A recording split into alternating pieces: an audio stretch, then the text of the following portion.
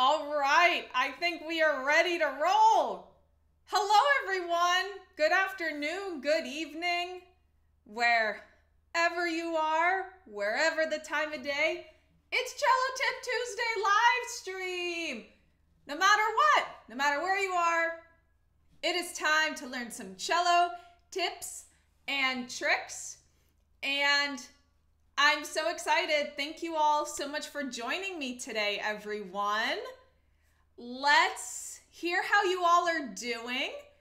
And yeah, I would love to hear some questions, anything you want to ask about practicing, about music and social media, the music industry.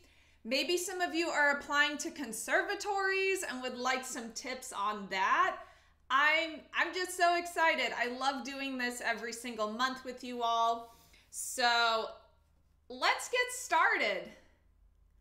And thank you for the kind words and greetings both on YouTube and Instagram chat. If you're experiencing uh, some connection errors, you can go over to YouTube and vice versa. If you're on YouTube, you can go to Instagram. So, hello everyone. Do we have any questions to start? Of course, y'all know Chelly. Oh, and I just bumped my interface. Oops. That's fine.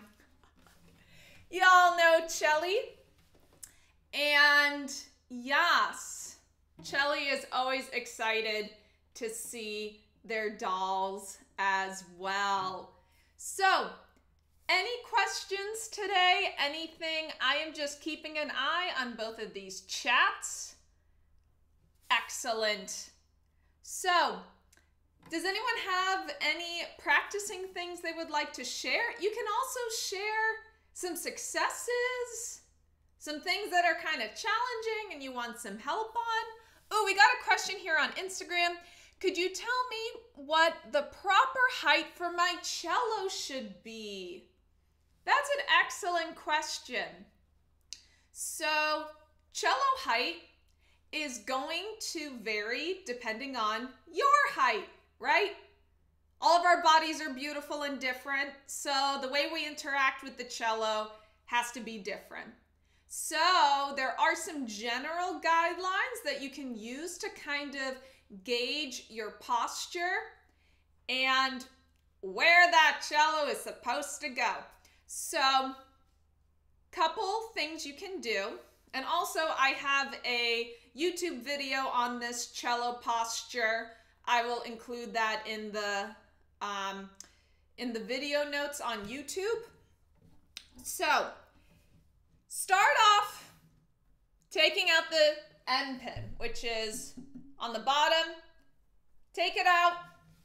And what you can do is sitting on the edge of your seat. Very important. Being on the edge of your seat. So actually, your dolls are gonna make me work.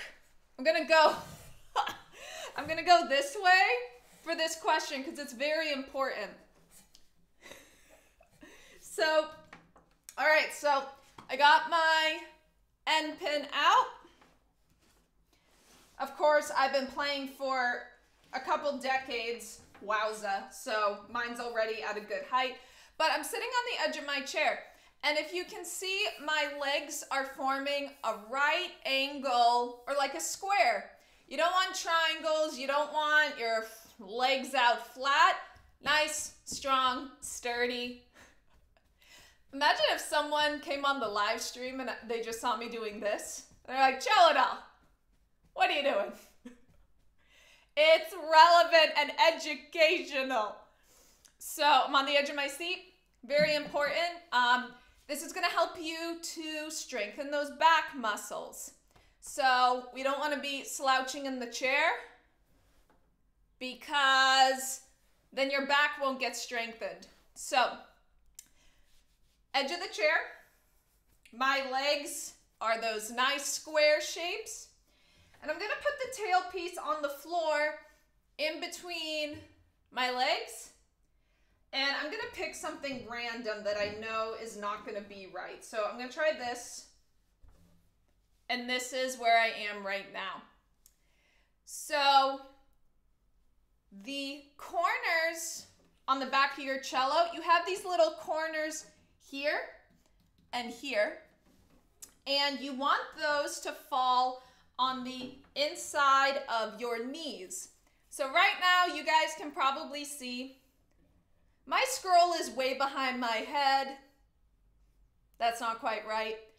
But these corners are touching my thighs. We want them on the knees. So what that means is I gotta drop the angle of my cello. Okay, and now my corners are by my knees.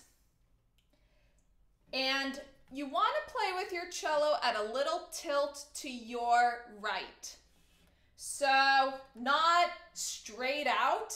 From the stage, it will look like your cello is straight out, but uh, okay, good. Follow up question. I will get to that. Thank you. Awesome. So, uh, where was my knowledge? Where was I? Uh, corners are on the inside of the knees. Oh, yes, the tilt. From the stage, if you watch a cello player, it's going to look like it's straight out, but actually, it's just a tiny tilt to the right, just a tiny tilt. Now, right now, because I've been playing for a while, I can tell my cello is a little bit low. So I like the angle this way, uh, this way versus this way. That's the angle. So that's one adjustment you can make. A lot of students think they just have the end pin to work with, but you also have how steep you want the cello to be, so that can be helpful. And the reason I know this is too short, the end pin is too short because I can feel the peg is almost touching my neck. It's really close to my neck. And the peg is usually closer to your ear. It's closer to your ear. Your bottom peg should be near your ear.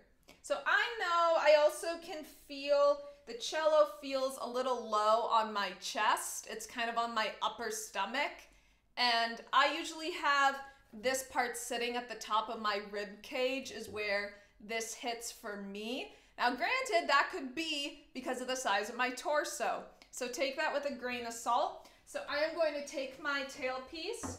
I'm going to make it a little bit longer. Adjust your end pin maybe an inch at a time, nothing crazy. So I'm going to try this again. I'm going to put those these back corners on my knees. And now it might be might be a little bit tall, so I'm going to find a sweet spot in between. And there we go. The peg is by my ear. And this is kind of the basics of how to sit with your cello. Now, I will say, of course, I started cello when I was eight, so that was a while ago. But I do think it took me a couple years before sitting with a cello felt automatic. And I did say years, about two years. So if you've been playing for about a year and you go, you know, it still feels kind of weird when I sit with this, then that's completely normal. So don't let that discourage you in any way. And yeah, so it will take some time to feel comfortable. Now, the person who asked this question on Instagram mentioned they have a 7 eighths cello. And 7 eighths is a rarer cello size, but they absolutely exist. They absolutely exist. And they asked, well, are there going to be any differences? Because yes, cello is a full size. However, cello is on the smaller side, um, little narrower, so kind of a small full size. And I will say the guidelines I gave you shouldn't really change if you're playing on a 7 eighths because I'm guessing you might be on a 7 eighths. Um, in general, uh, petite players, shorter players, um, players who might be in late high school, might have a couple inches left to grow, you might be assigned a 7 eighths. And that's totally fine. So if you were given that recommendation, it should fit your body proportionally. So everything I told you, good. Okay, this person mentioned, yes, I am shorter. So all these things I'm talking about, the, the corners on the legs, uh, the peg by your ear, um, feeling the this kind of little bump here that's on the back, feeling that at the top of your rib cage. All of this should be fairly proportional, even though you might be on a 7 eighths. Hello to those of you on YouTube. Hello. I'm seeing some more activity in the YouTube chat. That is wonderful. So, that is a very quick overview on posture. Again, um, if you go to my YouTube channel, I do have a video on how to sit with your cello and common mistakes. So wonderful. And I'm going to turn around normally. oh, you're most welcome. You're most welcome. Uh, usually on my YouTube vlogs, I do this fun video transition, but you're to see me awkwardly do it manually. So we're to go back to facing forward. Okay, so, all right, that looks pretty good. So there was a question on YouTube, uh, just curious, how long have you been playing the cello? I have been playing the cello for 20 years. This August will make it 21 years. Ah! 21 years. Um, so I started when I was eight, and I'm 28 years old right now. And yes, I absolutely love this instrument. It's my livelihood. I'm in for the long haul, baby. And I actually had an interest in stringed instruments when I was uh, the earliest stories from my parents about me being interested in string music. I was about one and a half or two years old. My older sister played violin. So, pretty much very soon after my birth, I was hearing string music throughout the house. And when I was one and a half, I took my sister's violin and I sat on a little stool. I put it vertically and I just started playing it like a cello. It's a mystery why I did that, honestly. But I really felt ready to commit to lessons when I was eight. And that, you know, eight years old, I was still a child. But I had the maturity to understand to some extent the commitment of music lessons. And immediately I was hooked and so I consider eight years was when I started playing cello regularly. That's when I started taking lessons when I was eight. Before that, I would maybe noodle around on the violin, like at holidays, just having fun with family. So, not really a whole lot. I started uh, training when I was eight. A little backstory about cello but yes, I've been playing for 20, going on 21 years. Excellent question. So, do we have other questions? What are you all practicing? You're not practicing if you're on this live stream. I'm totally kidding. It's fine. This is educational. So, in a way, you are getting knowledge. I'm going to try my best to give you some knowledge and some helpful tips. So, in a way, shh, Chelly, I'm talking. You always do this.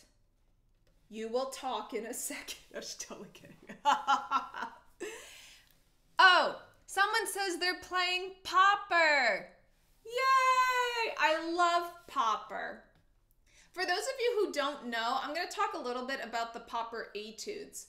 So I started looking into Popper etudes when I was in high school. So maybe 15 years old, 16, I started the Popper Etudes.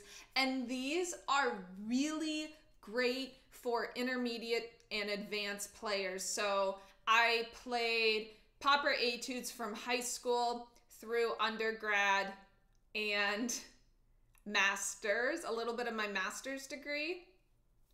And the Popper Etudes are a great way to challenge yourself because um, the way etudes are designed are they exercise a small group of cello techniques and they will uh, popper takes a couple specific techniques and composed an etude where in learning this short piece of music you are exercising these etudes so a way you can think about it um, especially, you know, I I love that some of my dolls here aren't musicians or don't play an instrument because I love sharing this. So I'm gonna take it and kind of put it in a more general analogy. Uh, for those of you who like football, American football, I love watching football. And fun fact so when you see um, Sports Center or anything on the news relating to sports and you see behind the scenes footage of a football team and they're doing these drills where they're running in and out of ladders on the ground like rope ladders and they go in and out or the the defense will they have these um, kind of plush humanoid size things and they run into them and they push those are kind of like what etudes are. They're preparing you for. I love it. I connected etudes to American football. Um, they're preparing you for the game or they're preparing you for the real life experience of the repertoire. So that's a little bit about etudes. Popper, um, Popper is an excellent collection of etudes. The Lee L double E Lee etudes. Those are a great collection of etudes. And I believe I've played the whole Popper book. It's kind of a rite of passage for a cellist. You will play through the whole Popper book, and you don't have to go in order. You know, I often just kind of did what my teacher assigned me, you know, when I was younger. And we would hop around the book depending on what kind of techniques I needed to work on. So the Popper book is great. You can challenge yourself and go through it in order or kind of look around and see what what kind of skills you want to work on. Um, excellent. Yes, Popper is a great resource. So I'm glad you are you are learning and experiencing the Popper etudes. So, what other questions do my dolls have? I need I need some hydration. So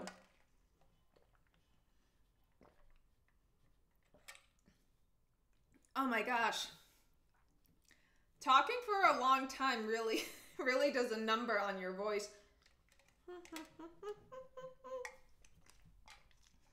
mm. Okay. We have a comment here on YouTube. Shopping for a new cello right now for college, and they are thinking about their budgeting. Okay, so, uh, okay, before I get to the question about, um, the cello buying, someone made um, a good comment about the Popper etudes. Um, I guess I better look at the Popper and more etudes. I'm only on Suzuki Book 2. There is no shame in being on Suzuki Book 2. I'm excuse me. Um, I mean, not every cellist has grown up with the Suzuki books, but those of us who have, we've all played in the Suzuki books. You know, I was in Suzuki Book 2. And I would say the Popper etudes are kind of if if you plan on going through all of the Suzuki books, Popper can come into the mix when you're maybe on the last book, the last book or second to last book. Um, I would say Popper Etudes are for experienced intermediate to younger advanced. I mean, I still sometimes crack open my Popper book and look at it. Um, so if you are just in the beginning of the Suzuki book, I would recommend waiting a little bit longer for your journey into Popper. And again, Popper, Popper and I, we hang, we hung out for about I don't know seven years regularly. So you will be in Popper etudes for a long time, and you will definitely play some of them more than once. So I would say, you know, Suzuki books really get through the majority of them before going on to Popper. And I'm going to circle back to the question on uh, cello shopping. Cello shopping on a budget. And I promise I'm saying this because I really want you to have resources and more information. I also have two vlogs on my YouTube channel about. Okay, I got another question. Excellent. Um, I do have a vlog on um, buying cellos. It's a two part vlog. And again, this I'm trying to make an archive of resources for you dolls and tell you to check out the YouTube channel for those of you on Instagram. And buying a cello is an investment, it's a commitment, it's a really, really big decision.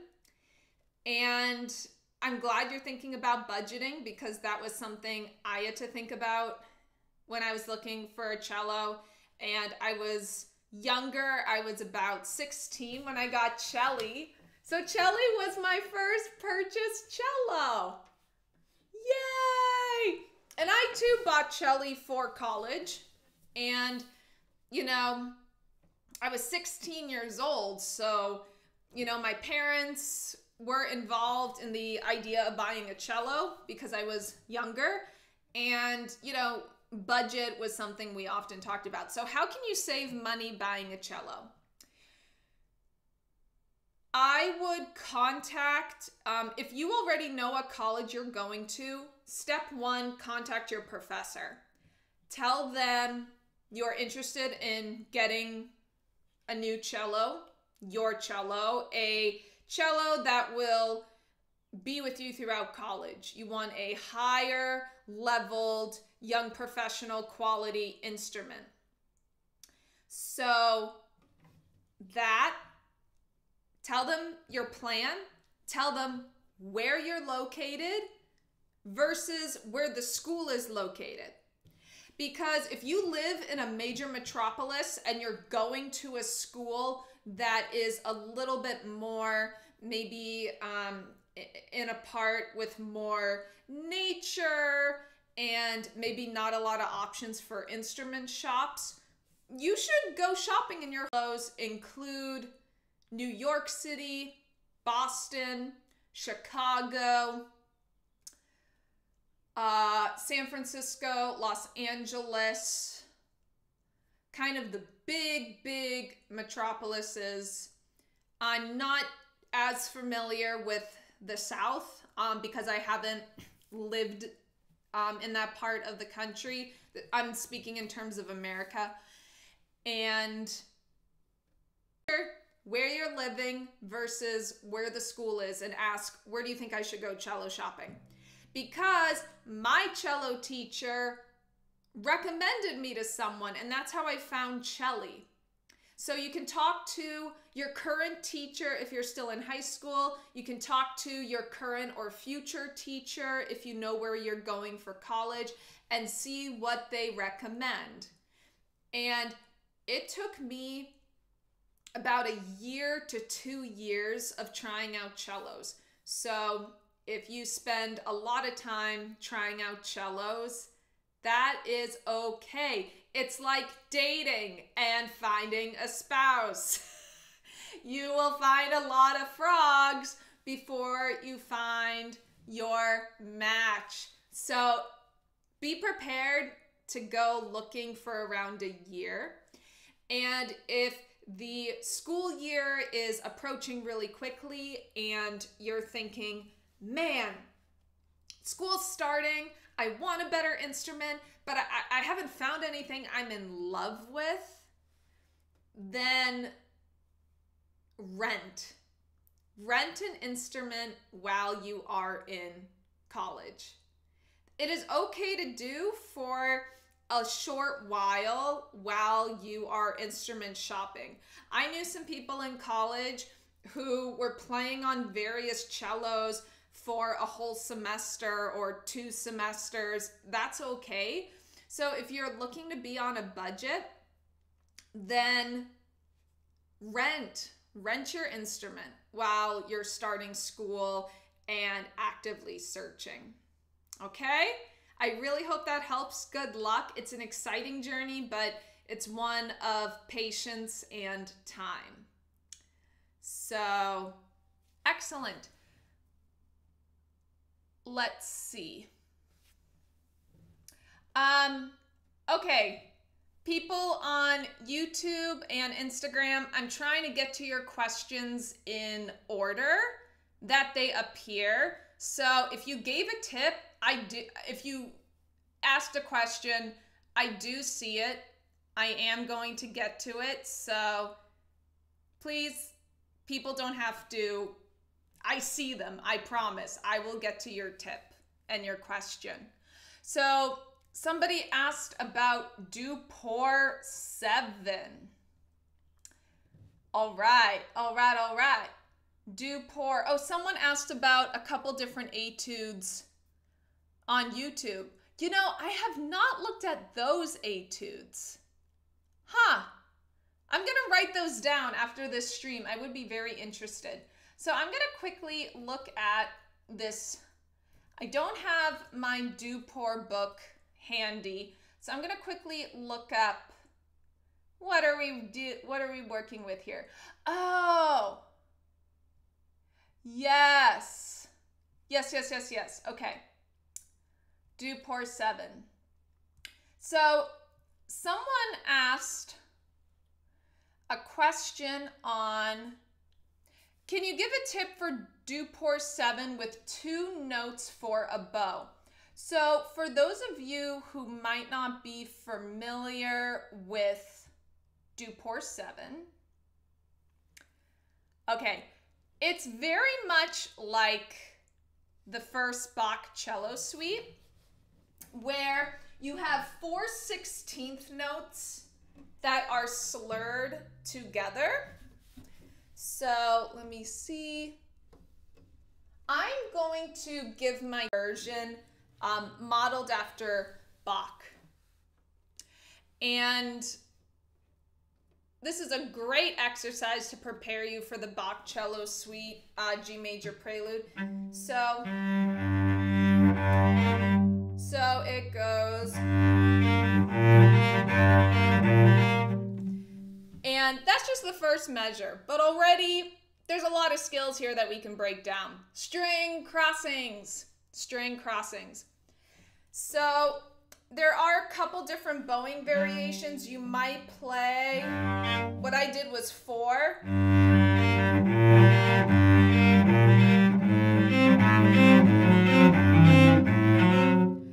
And You can also do two, which is um, maybe what you're doing on YouTube, who asked about two bows.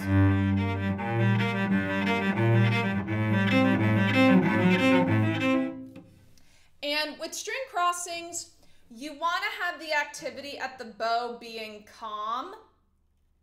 So you don't want to have this going on like um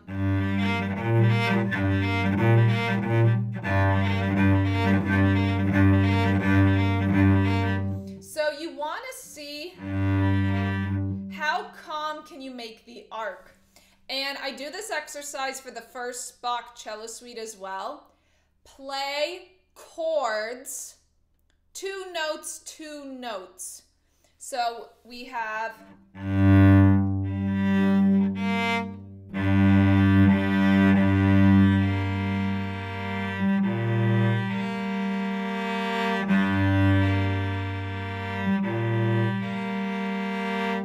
So I'm playing them as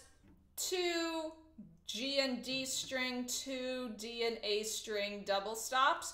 And you are saying to your bow, hey, that's as much as you have to move to get to all three of these strings. So by playing a double stop, you're kind of tricking yourself into playing a smaller amount this way. And hmm. then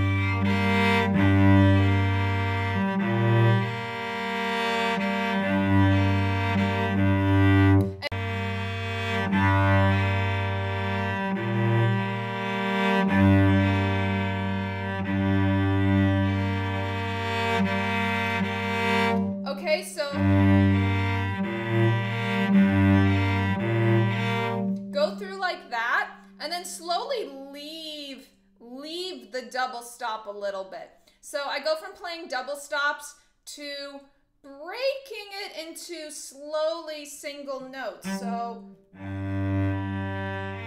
and I'm still kind of leaking in the double stop. We're working on Duport 7 for those of you joining us. So you can hear the three notes.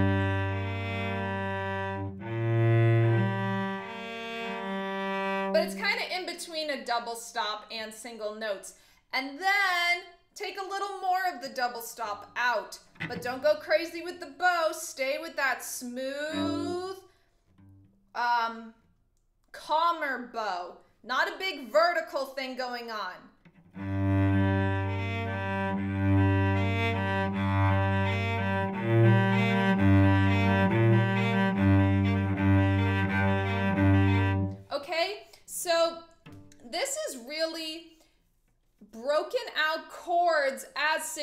Notes. So you can play the chords to tune the left hand and then with the right hand, really focus on those calm, the calm string crossings. So let me see. Let me see. Ah. Okay. So Okay. So it looks like this person for the Duport, starting up bow, two notes for bow legato. By two notes, do you mean two sixteenths or two beats? Because I'm wondering if you you are playing.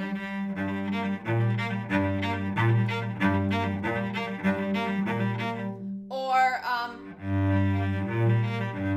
if you are doing two beats per bow because it's going to really affect your bow speed and bow conservation. So let me know. And two beats is, that's two beats. So yeah, that would help me to give you some tips on bow conservation which is another big can of worms. if we're talking about bow conservation versus bow speed. Oh, sorry. On Instagram, my phone fell down. Uh, the streaming life. Oh my goodness. Okay.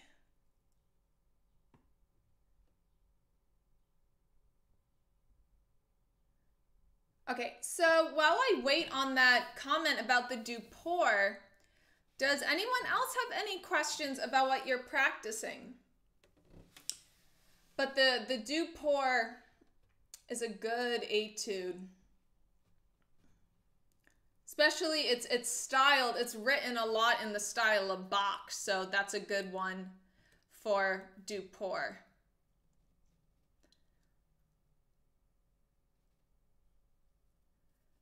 Any more questions? I'm going to check through on the Instagram.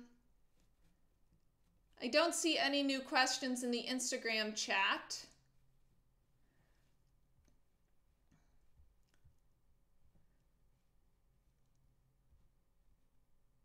Yeah, this Duport is awesome.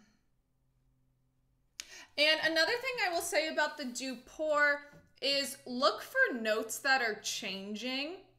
There are a lot of notes that are repeated within the chord, but one note is changing, and that's the note you want to bring out. So let's keep going with this. Oh, there is a question. Okay, great. I'll get to that in a second. So for the note changes, you want to have, you want to see, go through each measure and see what the hidden melodic line is, what notes are changing. So. And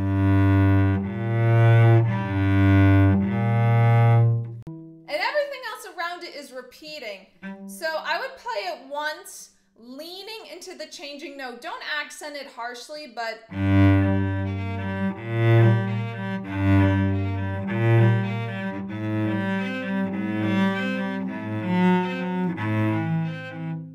Okay, so I could do measure two a mm-hmm. little bit better. Because it changes, it's now the middle voice.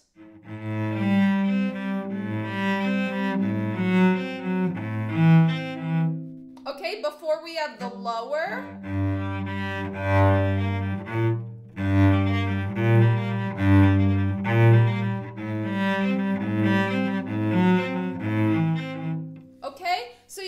Make sure you don't lose that when you play it faster.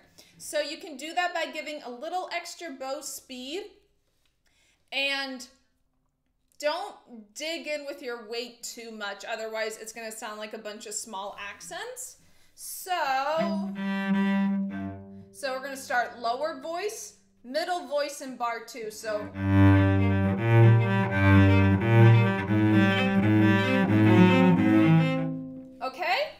So a little bit of extra bow speed on those changing notes. And I'm gonna check on YouTube really quick. Okay. Oh, you're most welcome. You're most welcome. So we had a question on Instagram about the bow hand thumb. It's a hard, it's a hard thing to um, get comfortable with. So it is a long-term goal, the thumb. And a big common problem with the thumb is squeezing with the thumb. Squeezing with the thumb. So um, the thumb usually squeezes when the bow hand doesn't feel supported. And you want the bow hand to feel supported with your natural body weight in the arms. So if you're noticing your thumb is tight and wanting to squeeze, I would ask, well, is my elbow low? Am I sinking in? Is my shoulder hiked up? You don't want that. So you have to see that this is um, released, unhinged, relaxed. I try to give more words other than relaxed because if you're not relaxing, and that's the issue, if if I could relax, I would. If it was that easy, we all would. So try to think of different ways. So the idea of when you just let your arm hang and you don't do anything, you just let it hang there. That's how it should feel when you have your bow on the string and you're holding it. Your arm should feel that loose. And then the wrist is what helps you to get on the different strings, a little bit of your arm, but generally this part kind of stays the same. So I would check that out because if you're hiked up and you don't feel any contact, any weight helping you sink into the string, you might squeeze and hold on.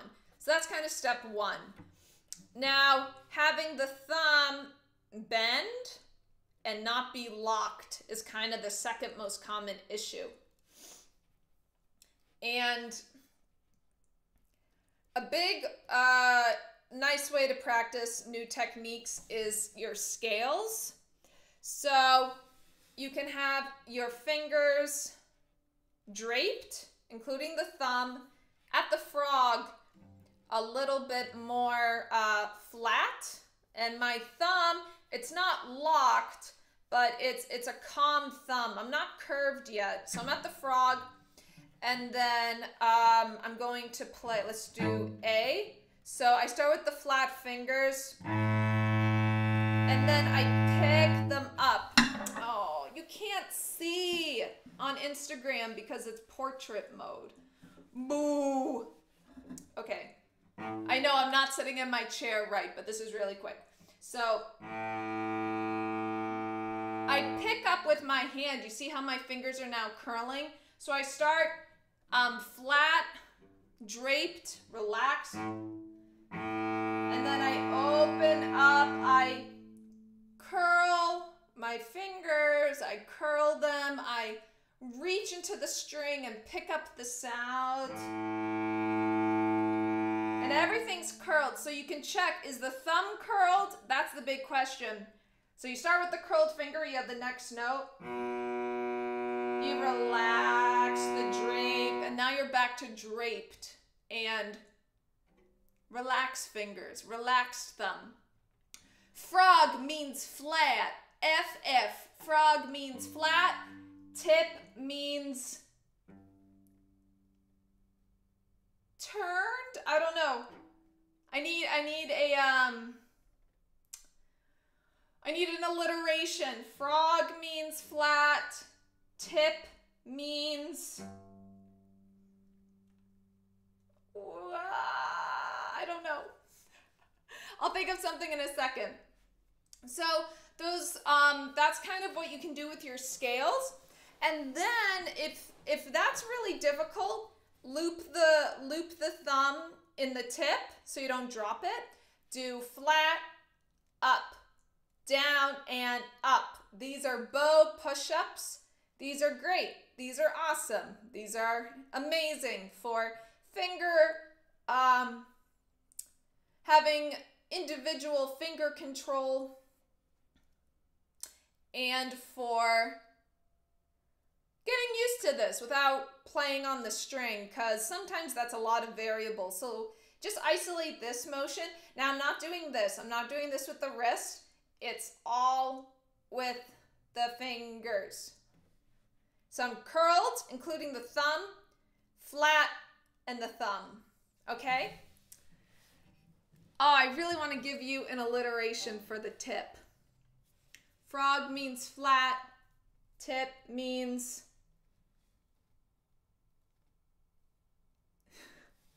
I don't know. Tucked? Tuck? I don't know, something to do with a curl. Um, I hope that helps. At least flat at the frog helps, and then you know the other end is curled. Okay, um, question from YouTube. I'm playing Elgar's second movement right now, and I'm having trouble getting it staccato and up to speed. Do you have any tips? Also, I love you, Miss Doll. Oh, thank you. I love my dolls too. Thanks. So you're talking about staccato on the Elgar second movement. Also known as spiccato at this point because there's a small difference. Staccato means short. Um,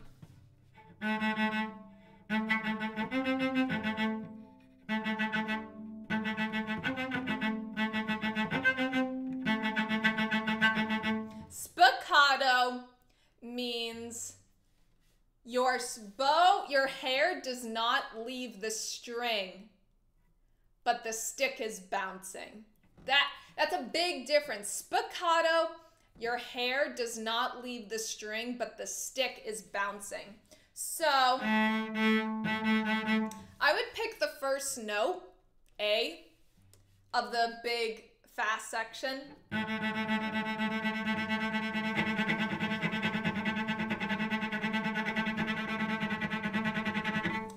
Can see it on YouTube, um, but the My stick is bouncing, but my hair is not. And experiment to get that stroke.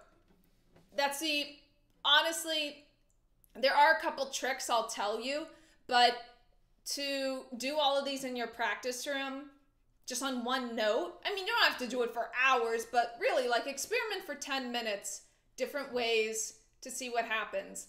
Again, if you're suspending anything up here, bouncing's almost impossible because the big difference also between staccato and spiccato is speed. Spiccato is when you're going so fast the stick naturally bounces, and that's kind of what you want for this concerto movement. You want it to be flashy and fast. So, couple things you can do.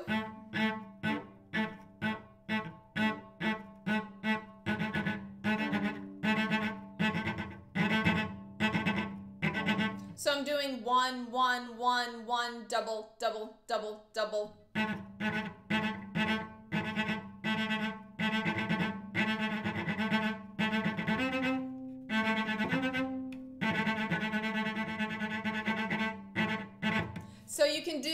Little bursts like that. Also, experiment with the angle of the bow. That is something that took me a while uh, to really experiment with and it actually can be a game changer the angle of the bow so i'm not saying don't play crooked but you might need to be a little a little this way or a little a little this way i find being a little bit a little bit this way where you're reaching out a little bit more with the frog i think tends to help a little bit. So, yeah, I would say start with one note, then do bursts of two, four, um, eight, 12, and you can do it, you can try and leave the hair in the string. That's a very um, big temptation is to bounce. Sorry it's so dark. We had a cloud roll in just now, and it looks really dark, but it's not that bad, so Sorry.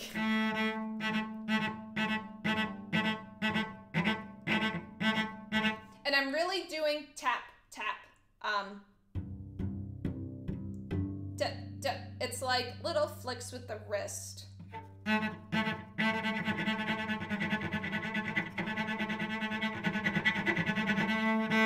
And if you notice, I want to clean up my tone a little bit. So that means I got to just sink in with a little more of my body weight into the string. I'm a little too light. That's why it's not super crisp. Do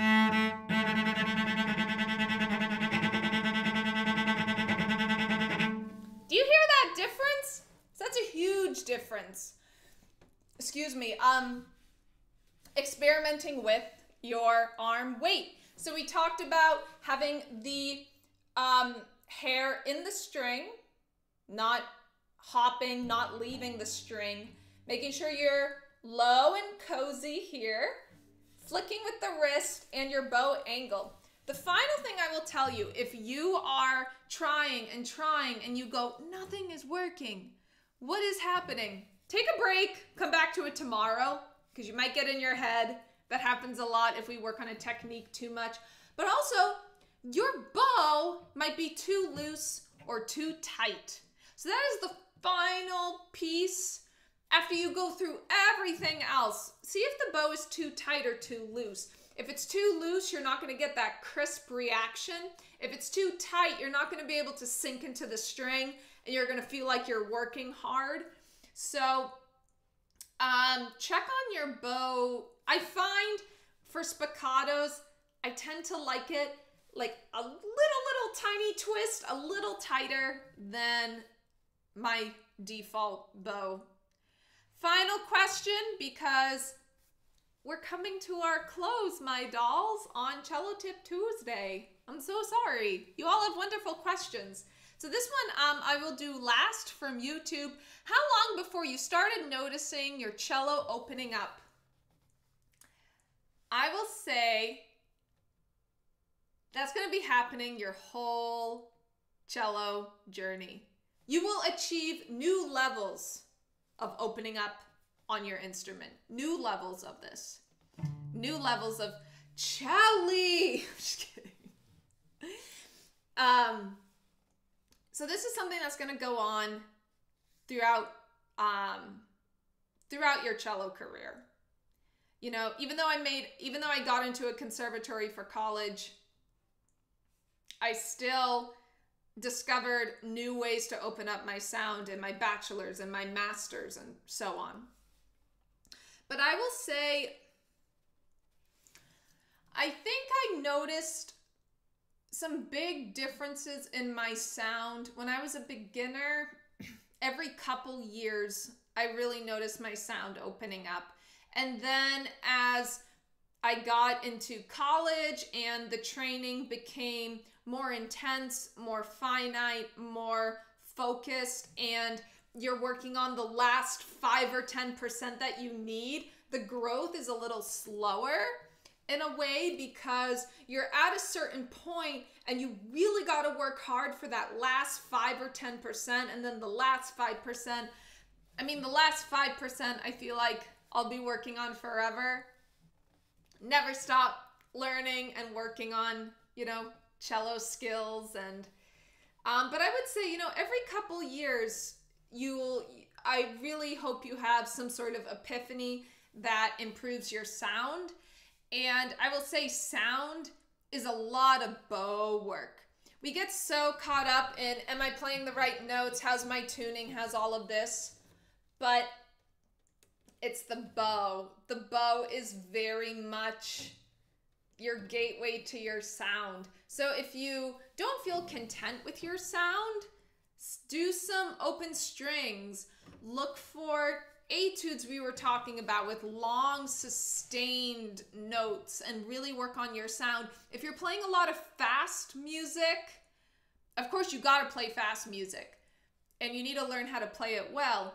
But if that's all you do, then you're missing out on projection and long bows and big sound. And again, scales are great. Scales are great for that. I've been doing, I've been challenging myself recently. I've been doing eight beat long bows, one note to a bow. So eight beats on a bow. And it's kind of a slow metronome, like 80. And I really focus on smooth changes at the frog and the tip and not having my sound waver. So you can try eight beats in your scales. And yeah. So I would say if, if you find, if you want to progress faster with your sound, uh, bow technique. Bow technique. The left hand is important, of course. And you got to make sure you're nice and weighted in the string. You never squeeze. You you you're leaning down into the neck you know, having that good content will, having that good contact will, um, having that contact will allow your your note to resonate cleanly. But again, it's very much bow related. So if it takes a few years, that's completely normal. Don't worry about it. That's the short answer. That's what I should have started with. My dolls, this has been a great live stream. Thank you all so much. Um, I love these monthly talks we have together, and thank you so much.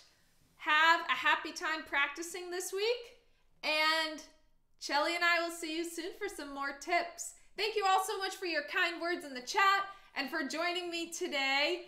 And as always, happy practicing, my dolls. Bye bye.